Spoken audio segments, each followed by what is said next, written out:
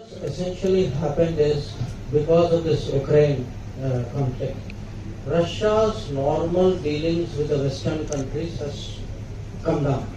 Okay? Not stopped, but come down very much. So what does a country do? It looks for alternatives.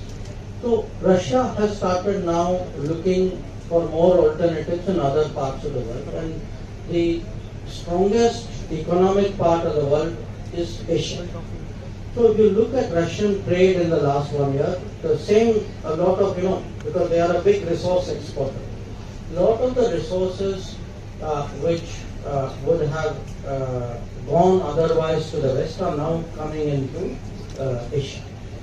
Obviously, China, as the second biggest economy of the world, is taking, uh, you know, full advantage. But if you look at India's trade also, you know, our trade with Russia uh, in the last one year has gone up almost four times. So, and it isn't only oil, you know, there, there are other things also. So, my sense is you are actually going to get a big change, not only in politics but also in the global economy. That you will have a big resource producer actually look not that way but this way and push more things uh, towards the east.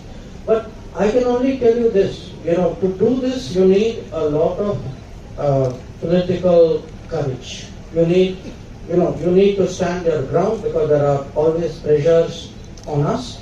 And again, you know, I would say if you look at the last one year, uh, he asked about self-criticism. If you ask me one of the things, I look back and say, did we do the right thing or not? This was one very good decision we made where very, very early on Prime Minister said, look, the interests of the country and interests of the Indian consumer must come first. Please always keep that uh, in mind. The